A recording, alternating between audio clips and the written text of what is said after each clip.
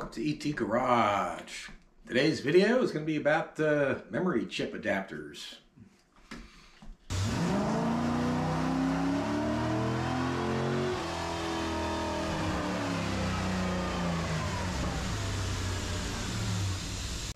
Okay, like I was saying, uh, today's video is going to be about uh, OBD1 chip adapters, specifically, uh, well this specifically would be for a uh, this type of ECM that comes in the 90 Corvette.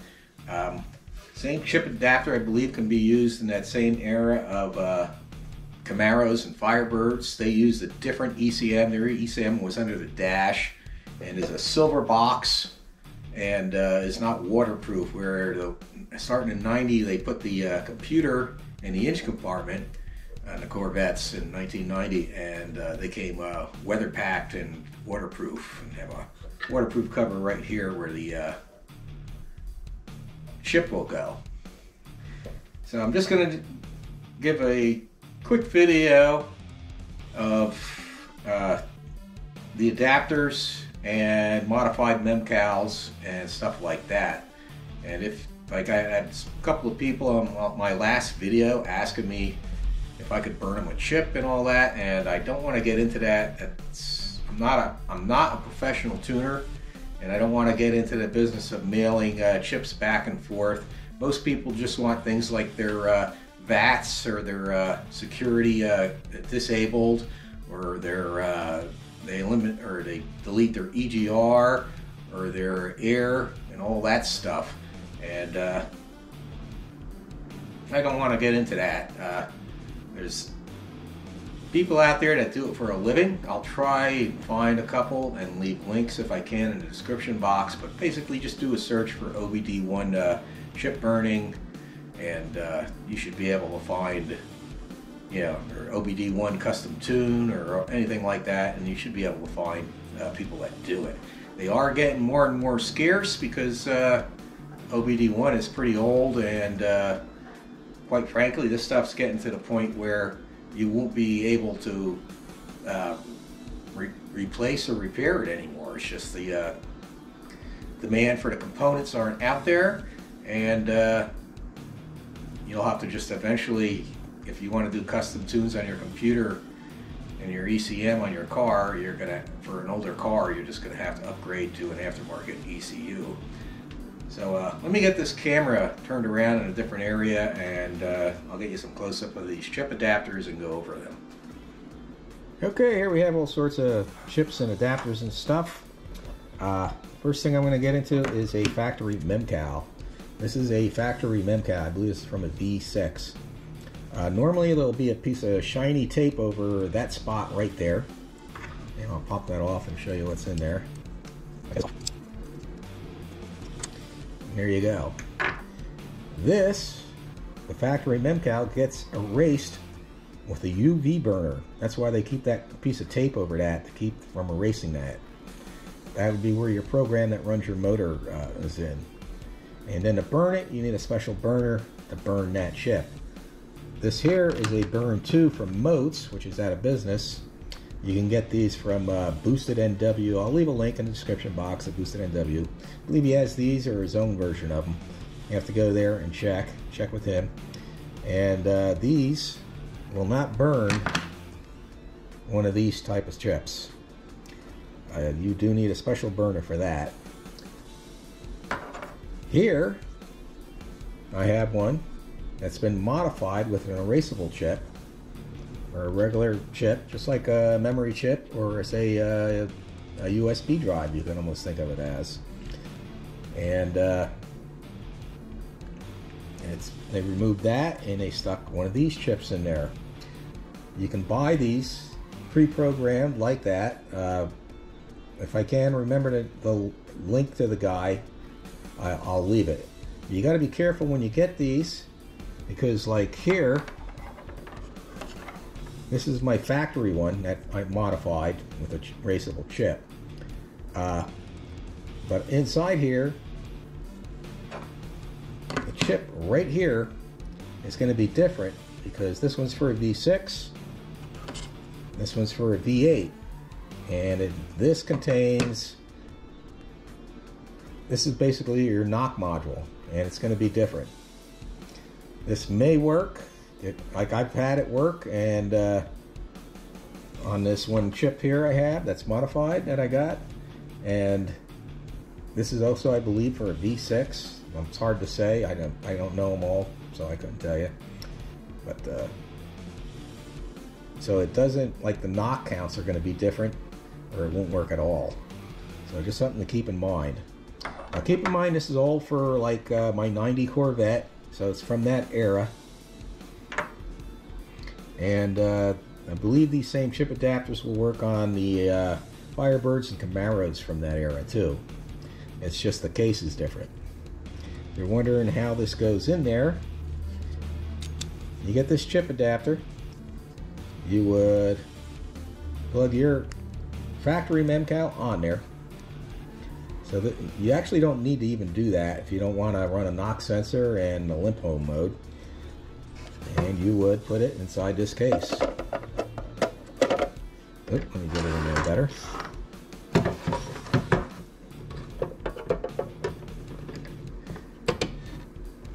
Like that. It locks right in place. It's very similar to a, uh, a memory card in a home PC as far as locking this in and out.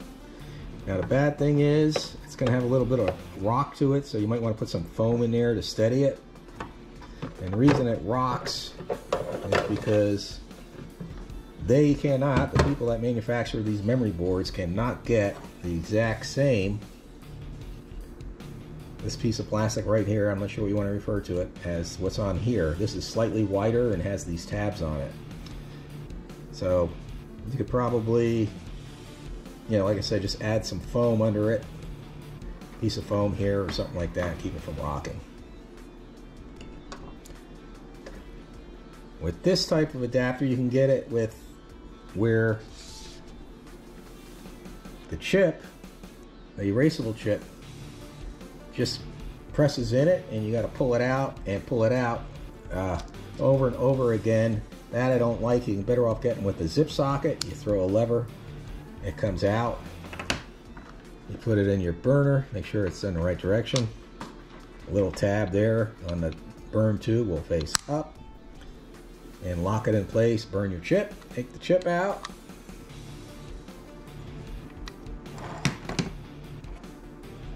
Put it back in here.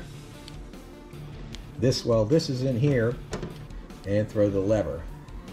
What's nice about this is you just leave this adapter in there and then you just reach in there and throw that little lever uh, can be a little bit difficult to get to with your fat thumbs might have to use like a screwdriver or something and then instead of removing the whole board you just do that burn another chip put it in lock it in place you're set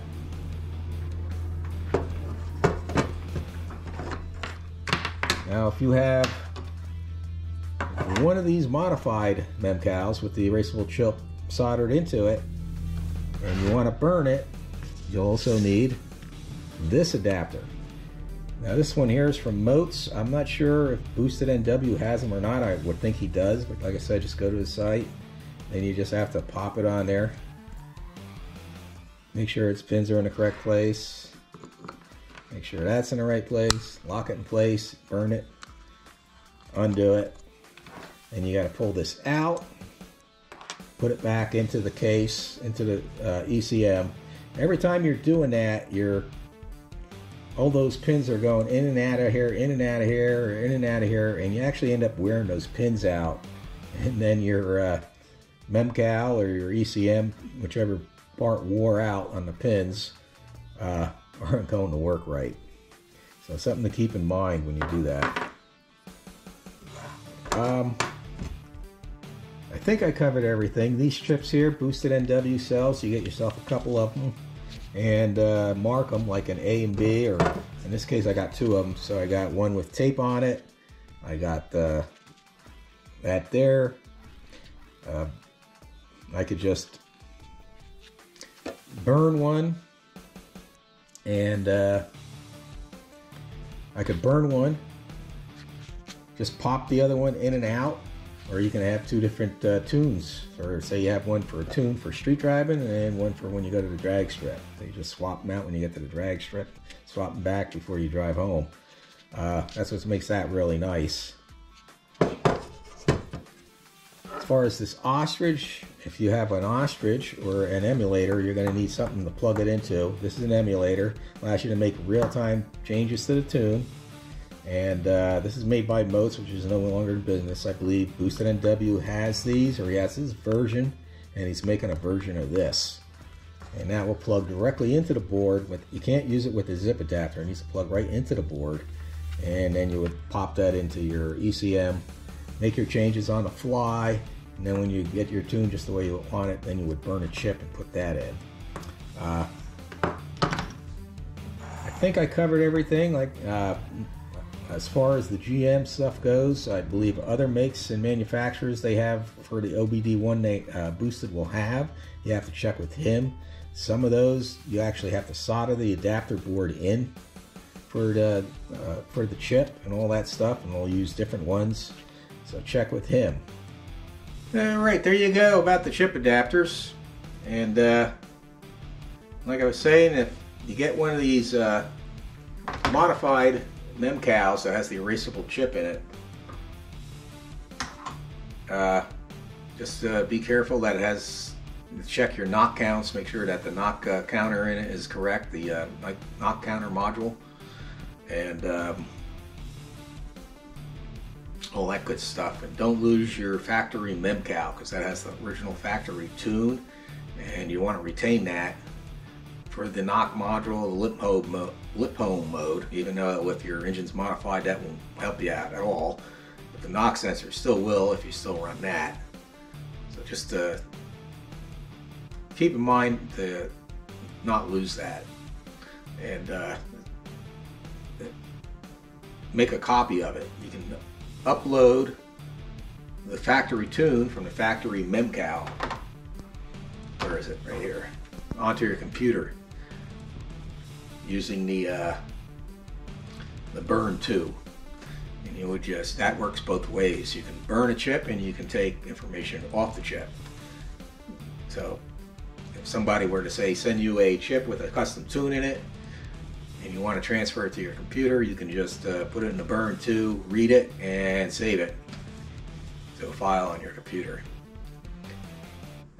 That's about it. I uh, hope everybody has a great day, and uh, God bless.